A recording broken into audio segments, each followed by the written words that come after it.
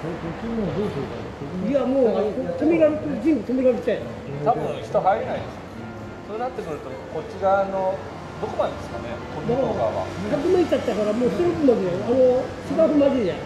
あーちょうどその入ってくるところあたりまで。ね多分そうするとそこも厳しいだろうから向こうの河原の方に行って3月には終わるんですよ一応これは5月まで。5月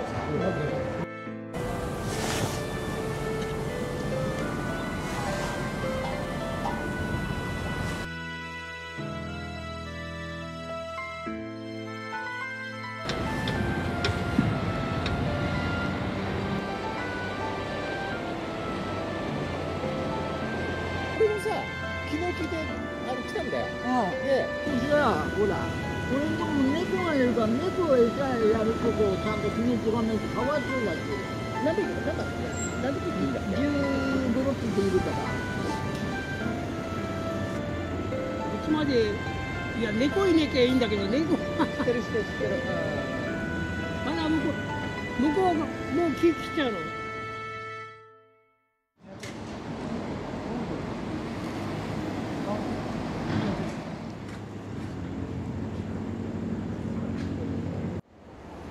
冬場だったら向こうのあのなんだ柳抜ける車に作ってやろうってここできたら俺はこっち引っ越してくから。ああそうですね、うん